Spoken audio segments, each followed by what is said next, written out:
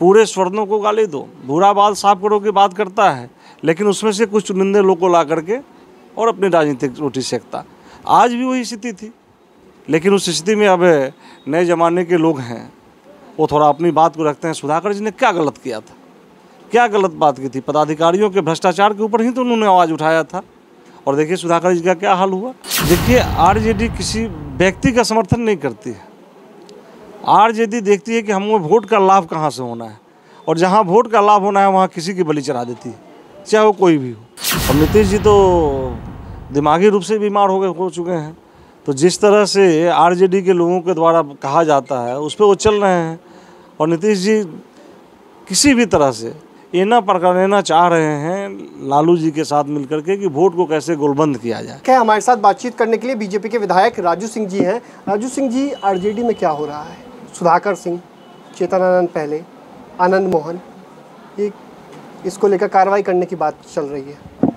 देखिए, आरजेडी में क्या हो रहा है, मैं आरजेडी के इंटरनल मामलों में नहीं बता सकता, लेकिन इतना ज़रूर कर सकता हूँ कि आरजेडी तो पहले से ही कुछ लोगों को टारगेटेड करके, उनके साथ में रह करके उससे समाज के वोट को एकत्रित करने का काम किया जाता है। जिस तरह से पहले हमारे एक रघुवंश बाबू थे जगता बाबू थे पूरे स्वर्णों को गाली दो। बुरा बाल साफ़ करो की बात करता है, लेकिन उसमें से कुछ चुनिंदे लोग को ला करके और अपनी राजनीतिक रोटी सेकता। आज भी वही स्थिति थी, लेकिन उस स्थिति में अब नए ज़माने के लोग हैं।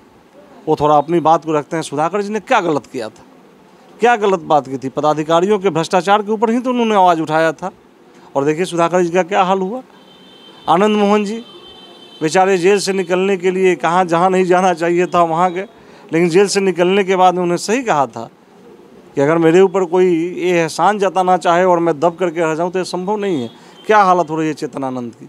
आरजेडी एक वैसी पार्टी है जो जात पात में सिमट करके ही काम करती है, जाति पाति करने वाली पार्टी है और वैसे पार्टी के बारे में मैं बहुत कुछ नहीं बता पाऊँगा।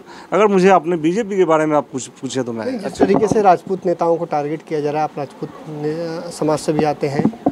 देखिए ये कोई राजपूत और भूमियार बात नहीं है। वो टारगेट स्वर्णों के साथ किया जाता है।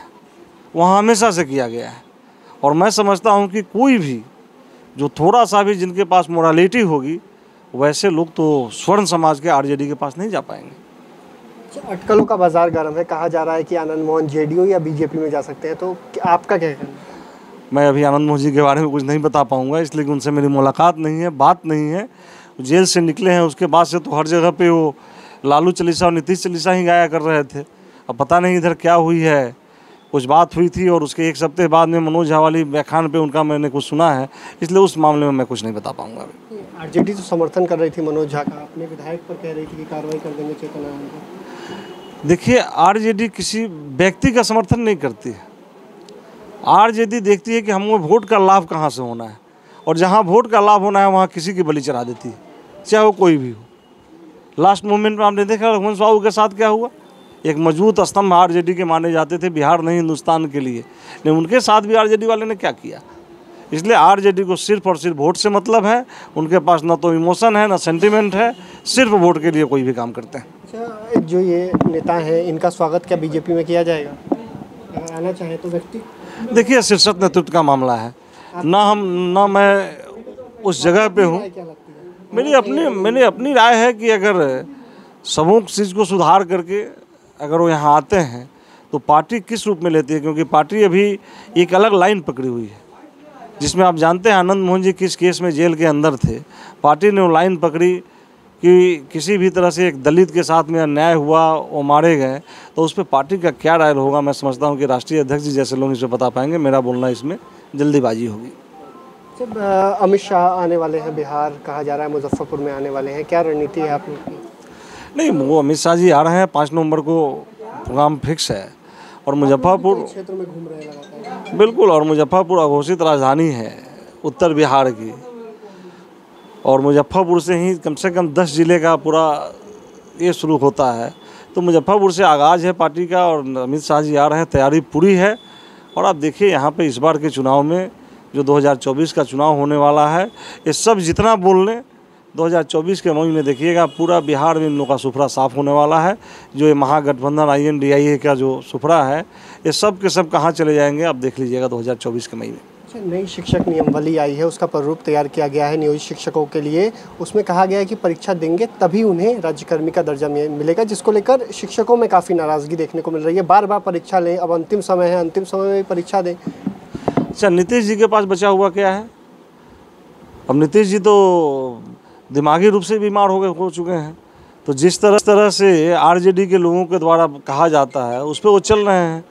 और नीतीश जी किसी भी तरह से ये ना लेना चाह रहे हैं लालू जी के साथ मिलकर के कि वोट को कैसे गोलबंद किया जाए। शिक्षकों को एक हल्का सा ये दिए, लेकिन फिर उसमें लगा दिए कि किसी तरह एग्ज़ाम लिया जाए। ये तो समझ में नहीं आता कि वो लोग अब क्या समझते हैं? 2024 का चुनाव के कारण ही ना जातीय जनगणना की बात चली है।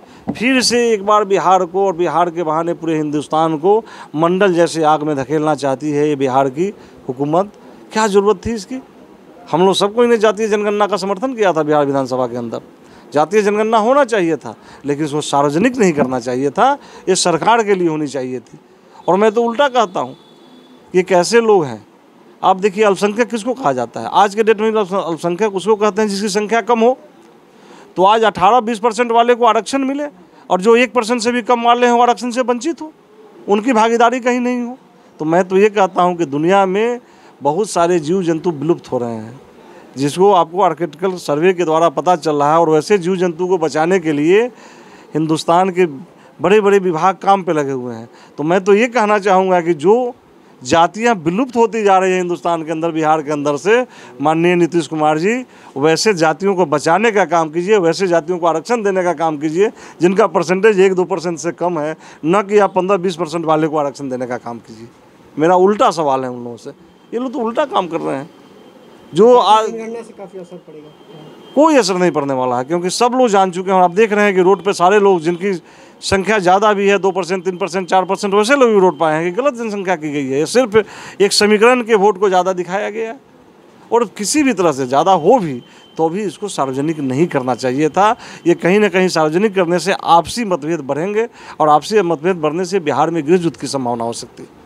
तो आपने सुना कि क्या कुछ कहा है? बीजेपी विधायक है, राजू सिंह, इन्होंने साफ़ साफ़ कहा कि बिहार में युद्ध होने की स्थिति है, जातीय जनगणना के जिस तरीके से आंकड़े आए हैं, इस आंकड़ों को जारी नहीं करना चाहिए था। आर्थिक जो आंकड़े हैं, उन्हें जारी कर समाज को आगे बढ़ाना चाहिए था। वहीं जिस तरीके से बिहार में राजपूत नेताओं को, जैसे सुधाकर सिंह हो, आनंद मोहन हो या चेतनानंद को टारगेट किया जा रहा था, ऐसे में साफ़ साफ़ कहना है कि एक समाज को टारगेट किया जाता है, स्वर्ण समाज को आरजेडी हमेशा टारगेट करती है और उनकी पार्टी सिर्फ़ वोट पर निर्भर करती है, जहाँ से उनको वोट मिलेगा, उसी से लाभ कमाना चाहती है। तो